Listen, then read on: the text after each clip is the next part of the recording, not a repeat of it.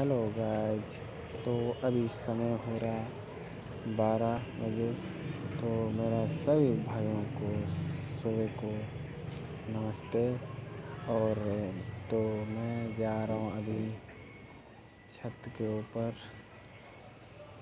और आपको कुछ नज़ारा दिखाएँगे छत का हरिद्वार में बंदरों की मस्तियाँ।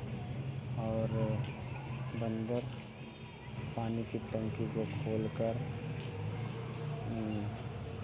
पानी का टैंक का ढक्कन को खोलकर उसमें तैर रहे हैं कोई कोई डुबकियाँ मार रहे हैं।